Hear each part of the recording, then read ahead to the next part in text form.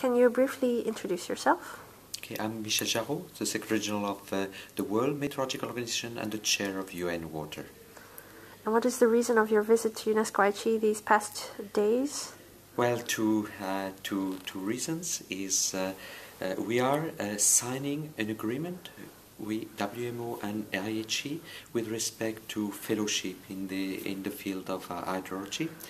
And the second reason is for the graduation uh, ceremony of your uh, your students. I was kindly invited, and I'm very delighted to uh, to be with you on this special occasion.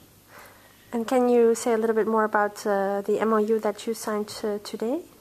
Yeah, the, the, the idea is that the needs for training in this field are huge worldwide, and you have unique uh, uh, facilities and experience on, on training. And we felt that rather to, to deal with that on a case by case basis, it was better to have a framework for these uh, uh for these uh, activities. And in this framework, uh, it's a win-win situation where uh, everyone is contributing, and that at the end of the day helps very much our developing countries uh, to increase their pool of uh, experts. And um, in what other ways do you think WMO would like to collaborate also with UNESCO?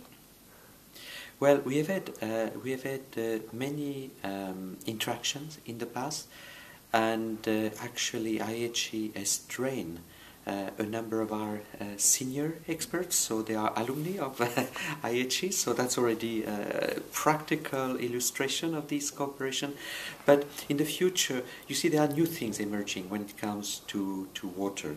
Uh, one of them is climate change, and uh, water and climate are very, very closely integrated, uh, integrated with each other and um, um, all, all, the issues of management of uh, extreme events, floods, uh, droughts. Uh, uh so they are.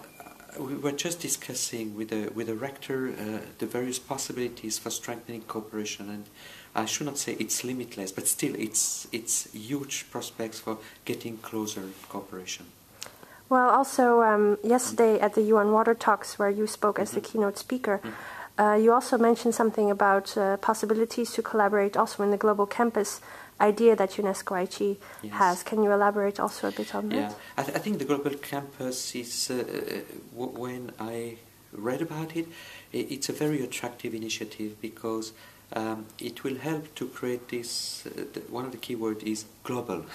it's a campus, but it's global. So to have this network which can uh, address the needs of countries in whichever part of the world uh, uh they, they, they, are. So uh, that's at least something which is, I think, a very uh, interesting and powerful concept. So we, we are very much supportive of that uh, initiative.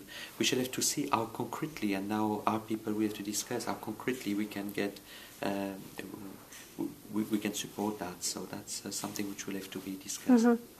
Also, um, part of that I think is um, the strength to develop jointly with partners mm-hmm. um, research agendas together. Also, mm-hmm. maybe sharing uh, data and um, making them available as well to others. Mm-hmm. How do you feel about that? Yeah, the question of exchange of data is still a difficult one, particularly in hydrology, where mm.